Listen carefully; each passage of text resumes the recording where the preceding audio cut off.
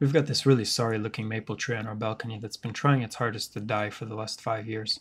Since we care about trees, we decided to give it a fighting chance in our concrete covered city and build it a hexagon planter to live in. First thing you need to do is go to the hardware store and buy the cheapest, crappiest wood they have available, but make sure it's Douglas or something equally water and rot resistant. Then open SketchUp and make a model which is entirely useless to take dimensions off of because you have no idea how to use SketchUp.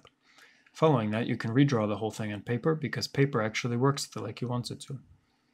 Now this isn't going to be one of those precise and polished woodworking videos, rather a get her done kind of video, so if that doesn't sound like something you're into, you can move on now. The first thing we start with is the base, which is made from six components because we're making a hexagon. We start off by mitering all the boards and then screwing them together. Make sure you at least spring for stainless steel screws and not the ones made from recycled brake rotors.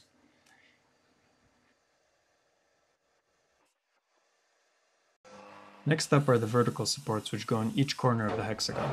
Can someone explain to me why all of the cheap table saws are designed to tilt the blade toward the fence rather than away from it? Ginger carefully cut the tapers onto the corners, trying not to lose a limb. This part is actually quite important to be accurate on because of things which you'll see later.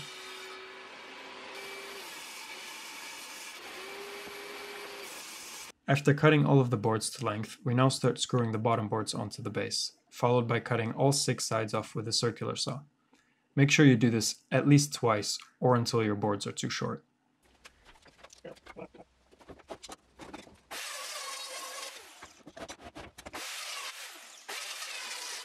The last cutting operation are the pieces which cover the entire outside of the planter. We had to make a total of 72. You can do this in steps of 30, failing to calculate how many you actually need, and going back to the hardware store four times for more boards. If only we had a SketchUp model or something similar where we could count them. Make sure to take the most crooked ones with the most knots, they'll help you in the assembly later. Now starts trouble in paradise. See, you should check that your vertical supports are some kind of 90 degrees relative to the top of the box. Failing that, you'll end up screwing all of the sideboards on twice. If you watch this part closely, you can see that we're not even the same zip code as kind of 90 degrees. I left the second assembly out of the video. Next up, I attached the base to the rest of the structure.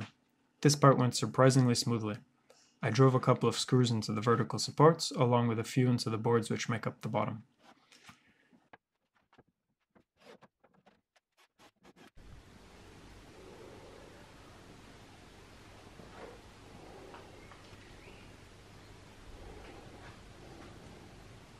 The last few steps involve painting the inside with some kind of oily water resistant schmoo of your choosing.